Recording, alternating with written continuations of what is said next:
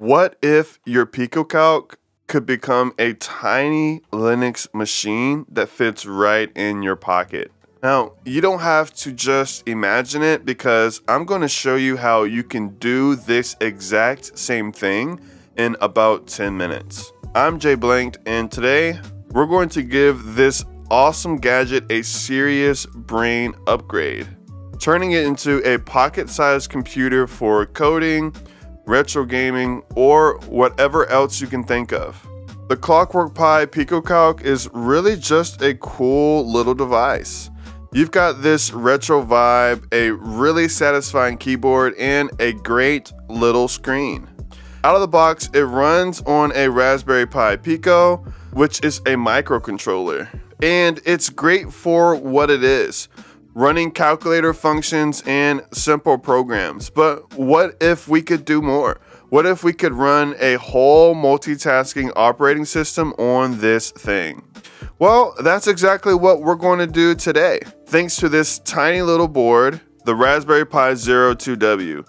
This thing is an absolute powerhouse for its size. And while it's not a simple drop-in replacement, it's a popular and powerful upgrade for the PicoCalc.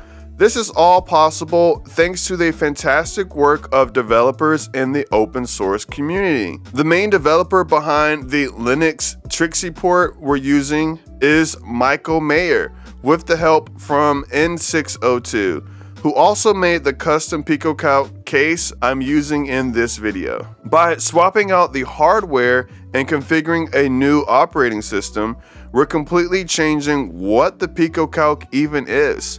And the best part, it's not nearly as hard as it sounds. Now, before we jump in, let's talk about what you'll need. Getting everything ready beforehand is the secret to making this a quick and painless project. So first up, the hardware. Now obviously you need your PicoCalc. Then you'll also need the Raspberry Pi Zero 2W. This is the new brain, so it's a must-have. To connect it, you'll need 11 male to female jumper wires. And if you're using the stock PicoCalc case, You'll also need that little hex key that came with your PicoCalc. The good news is, once you get it all working, you can optionally create your own custom PCB for a more permanent installation or even order one from a service like PCBWay to clean up the wiring. You're also going to need a good quality micro SD card. Now a 32 gig is perfectly fine for what we need, but don't go for the cheapest card you can find. A reliable fast card makes a huge difference in performance and helps you avoid weird errors. On the software side, it's even easier. You need to download the official Raspberry Pi Imager. It's free, it works on all major operating systems, and it makes the process super simple. We'll be using it to install the Trixie 32-bit Lite operating system. And finally, you'll need a way to SSH into your Pi, which is a way to control it remotely from your main computer. Once you've got all that together, you're ready to go. Alright, let's get to the work. Let's pop this thing open and do the brain transplant. Now, this part requires a bit of patience, but it's straightforward. First, flip your PicoCalc over if not already.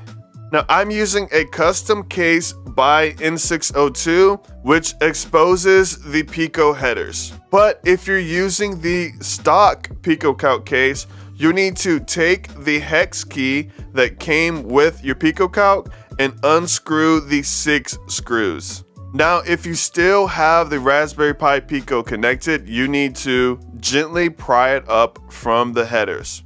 Just wiggle it back and forth until it comes loose. Don't just yank it from one side or you risk bending the pins. And now with the old Pico out, grab your Raspberry Pi Zero 2W and your jumper wires. This is where the magic happens. We need to connect the pins on the Pi Zero to the correct pins on the Pico PicoCalc. This is the best pinout diagram that shows exactly which pin on the Pi Zero, which is on the left, connects to which pin on your PicoCalc. Here's another chart that might help. But in my opinion, this diagram is the easiest to follow because it perfectly matches the orientation of your headers on the PicoCalc. Make sure the SD card slot on your Zero is pointed up or at the top and the camera port is pointed down or at the bottom, like this. Take your time and double check each connection against the diagram. Once all the wires are securely in place, you're good to go. That's it. Now that the hardware is ready, let's get the software on there. Okay, our PicoCalc has its new brain, but a computer without an OS is just a cool looking paperweight. So let's flash Linux onto our micro SD card. Pop your micro SD card into your computer's card reader and open up Raspberry Pi Imager. Luckily, the interface is really straightforward. First, for the device, choose Raspberry Pi Zero 2W. And now for the operating system, scroll down and click Other, and then select Raspberry Pi OS Lite 32-bit. And then next, click Choose Storage and very carefully select your micro SD card. And now go and click Next. For the most important part, before you click Yes, click Edit Settings. Here you need to set a username and password. Make sure to also add your Wi-Fi credentials. Then in the Services tab, Make sure Enable SSH is checked and then click Use Password Authentication. And now click Save when you're done. And once you're positive you've got the right OS, the right storage, and your settings are in, click Yes. And then click Yes again. Type in your password when prompted. The process will take a few minutes as it writes the image and then verifies it.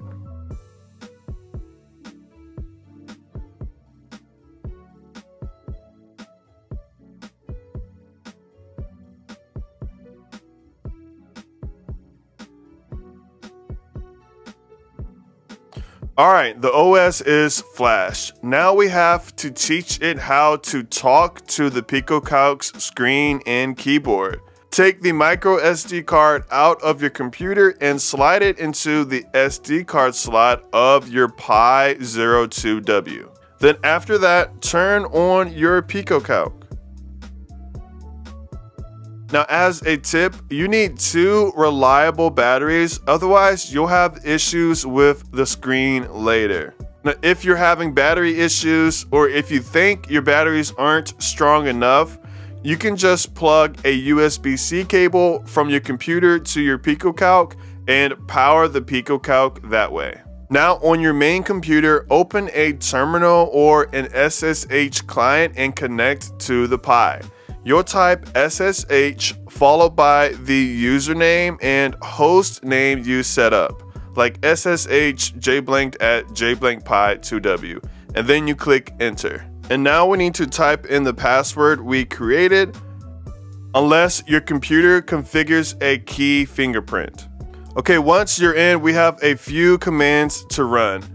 First, we need to update the system and install the tools we need by typing sudo apt update sudo apt install git.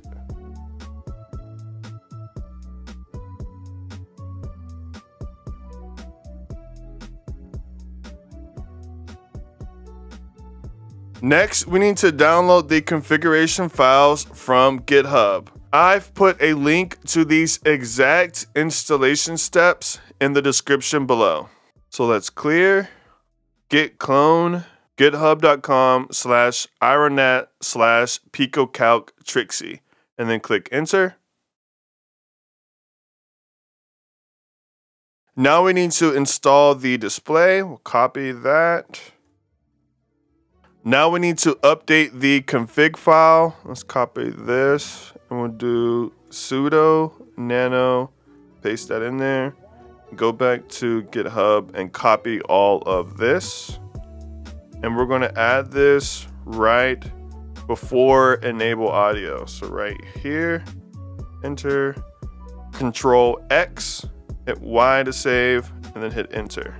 Now we need to do the same for the command line text. So copy this, sudo nano, paste that in there, go back to GitHub, and now copy this here. And now we're going to add it to the end of the line. The easiest way is to click down and then click left, add one space, copy it in there. And then control X, Y to save, enter, and we're good. Now we're going to reboot and then we'll do the next steps. So sudo reboot and enter.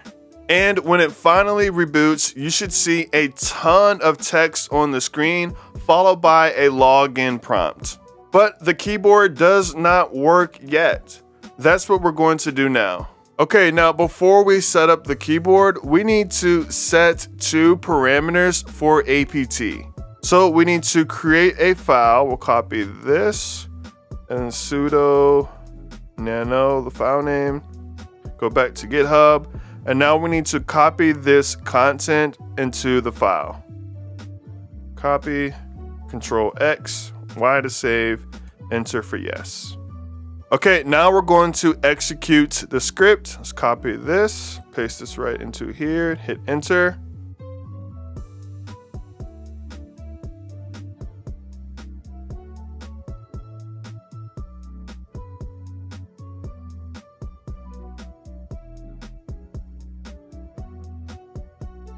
Okay, now we're going to set up the audio. So we need to add a line to our config file again. So copy that, sudo nano, paste that in, go back to GitHub, and we're going to copy this DT overlay right after the audio on. So scroll down, right where it says enable audio, and then our audio on, we paste that here enter again, then control X to exit, Y for save, and then click enter.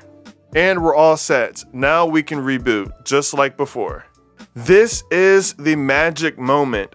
Now, when it finishes rebooting, you can type in the username and password you created in the Raspberry Pi Imager with its awesome keyboard.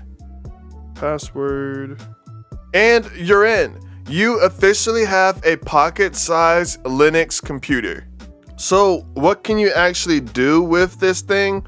Well, since you set up Wi-Fi already, you have a portable terminal for managing servers. You can install Python and play with powerful libraries.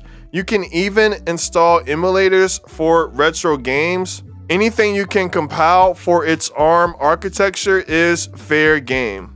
Well, in just a few steps, you've completely transformed this device. You took something made for one job and turned it into a general purpose computer that's ready for your next project. You didn't just install an app, you gave your PicoCalc a whole new identity. I want to give a huge shout out to Michael Mayer for the Trixie port and to N602 for their contributions to the project and the awesome case. Now, if you thought this guide was helpful, hitting that thumbs up really helps the channel. This kind of project is why I love open hardware and the communities around it. Be sure to subscribe for more PicoCalc projects like this one. And I really want to know what's the first thing you're going to do with your new Linux powered PicoCalc? Let me know down in the comments. I'm JBlanked. Thanks for watching. Peace.